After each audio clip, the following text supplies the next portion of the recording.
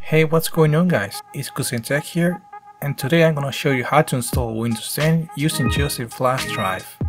In case you don't know how to prepare it, I'm gonna let you video in the description showing you how to do it.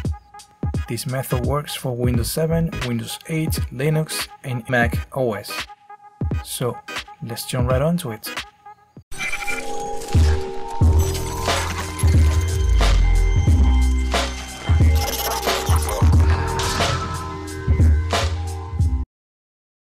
Before starting, you must know that this process will take more time if you're using an HDD drive and not an SSD.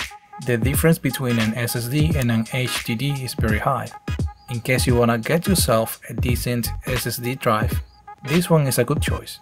The link will be in the description. Alright, now first, if your drive has files in it, you must copy them into another drive, because we'll do a clean install to avoid any possible viruses. Once the backup is done, shut down your PC, insert your flash drive, turn it on, and then open the boot menu to put up the flash drive. Depending of your computer brand, these are the different boot menu keys. If you notice, the most commons are F12 and the escape keys. In case you cannot access to the boot menu using a key, you can open the flash drive via the BIOS. And to access the BIOS, the most common key is the F2. So once you are in this screen, here you have three options in case you need to change something. Then click Next. You can click here in case later on your computer cannot boot up with your Windows already installed. So to continue, click Install. Here ignore this screen is asking you to activate Windows now. You can do that later. For now, click in this option that says, I don't have product key. You will see this screen if your Windows 10 ISO have more than one version inside it. The recommended one is Windows 10 Home, since the additional features the others have are not really necessary. Then click Next. Here check the Accept box, then click Next. You can also read all of that if you want. Here click in the Advanced option because the upper one is only used if you are upgrading from Windows 7 to Windows 10. In this screen, you will see your disk. Mine is completely empty, but if you already have used your disk before, you will see a few partitions. In that case, click on each one and then on the delete button. Once done, click on the new button. Here, in case you need to create more partitions, you can reduce the number that you see here. If not, just click apply and then OK.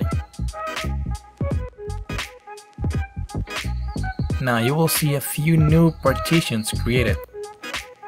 These ones are necessary for the system, so ignore them, choose the one that says primary, and then click next. The installation will take a few minutes. After it finishes, it will automatically restart.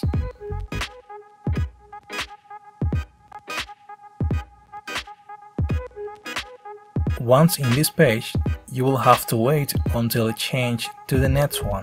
While you wait, you can click on the microphone icon to mute Cortana, and in the speaker icon to increase the volume level.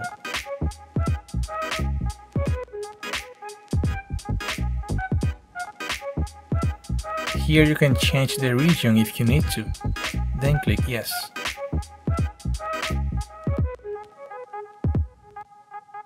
Here you can change the keyboard layout if you need to. Then click Yes. Here click Skip.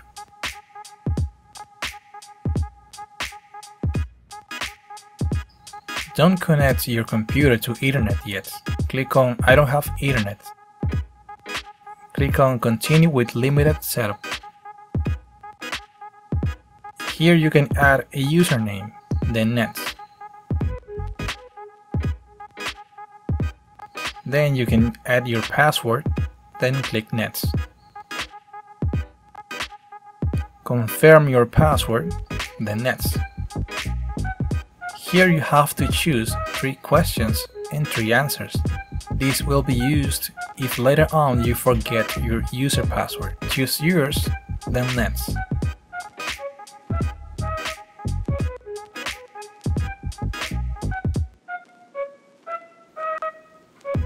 Click on No. Click on Decline. Here you have to uncheck every box that you see activated. Then click on Accept.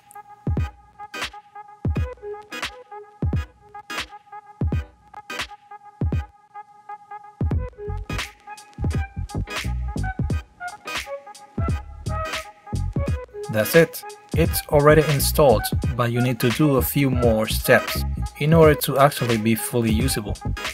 For now, the first step is to activate Windows.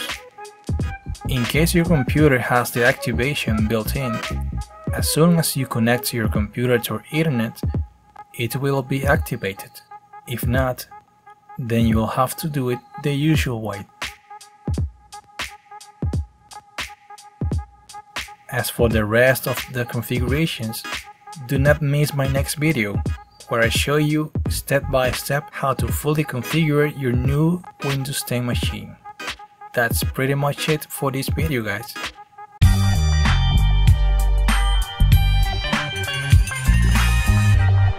If you have any questions or suggestions, let me know in the comments below. Also, if you found this video useful, hit the like button and subscribe to the channel so you don't miss any future videos. But more important, thanks for watching and see you in the next one.